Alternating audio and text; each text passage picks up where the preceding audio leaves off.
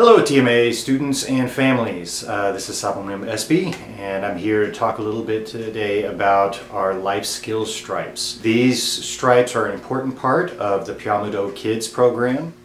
We've got four uh, life skills stripes. We've got home, school, community service, and our goal stripe.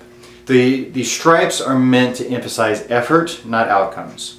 There's another video on this channel that you can check out that has uh, more information about our philosophy around effort over achievement. Basically, I've had a lot of instructors in, in my experience, people who are my teachers, who have offered uh, stripes for students for doing specific things in the home or in the school. For instance, if they got specific grades, or in the home if they were making their bed, if they were using polite language like saying sir and ma'am and please, if they were keeping their room clean or helping with the dishes after dinner. It is, it's very commonplace for uh, martial arts instructors to have children and parents fill out a, a, checklist to make sure that kids are doing what they need to do there, to earn a stripe for their home, uh, earn a stripe for their school. What I have realized over time is for some kids, it doesn't really matter that much. They're already getting good grades or they're already inclined to make their bed or keep their room clean, that kind of thing. Or making their bed is the least of their issues. So children are excited about our program. They're, they're excited about the classes and it creates a lot of positive energy that uh, we can use to create positive changes in their behavior and their understanding of their lives. So rather than us arbitrarily creating um, some uh, some activities to focus that positive energy, doing things like make, having them make their bed or get specific grades or, or, that kind of thing. We take the that leverage and we, we put the lever in the parents' hands. What I mean by that is parents decide what it is that they're going to be doing to earn their home stripe, to earn their community service stripe. Uh, parents and or teachers will decide what the child needs to do to earn their school stripe. Um, and then the goal stripe, that there's another video to kind of get into what the goal stripe in, but in a nutshell, that is uh, something that the child comes up with. Uh, they come up with a goal that they're excited about, and then they um, they create and implement um, a, a series of action steps towards that and they can work with parents to get a, a, uh, an understanding of how to create those action steps. Now the intention of all this is not to create busy work for the kids or to add more weight to parents already busy and stressful uh, schedules.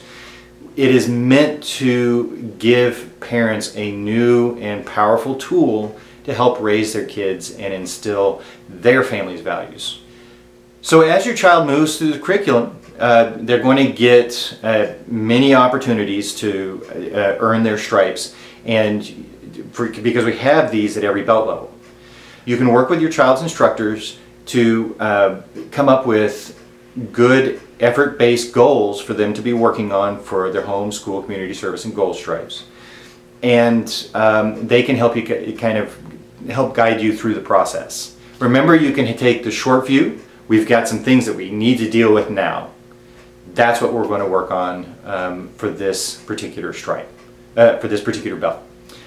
Or you can take the long view where you're seeing you've got several years that your child is going to be working on their junior black belt and there's many belts in between white belt and junior black belt.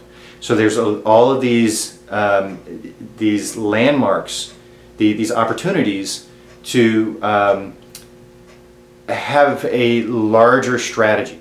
For instance, if your child is uh, having some issues around respectful behavior, you can have um, their senior white belts uh, home stripe be about uh, using polite language when they're at home and addressing family members.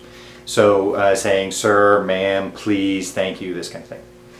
Then at the next belt level, you can have them uh, not leave their uh, stuff on the floor when they first get home.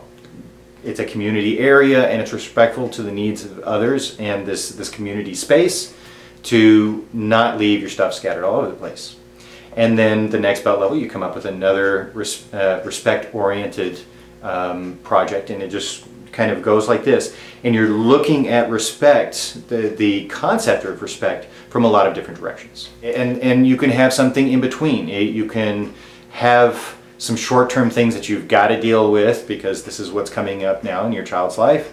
Um, and in the background, you can keep coming back to a larger goal. Either way works fine. And that is an introduction to our life skills stripes. Thank you for watching.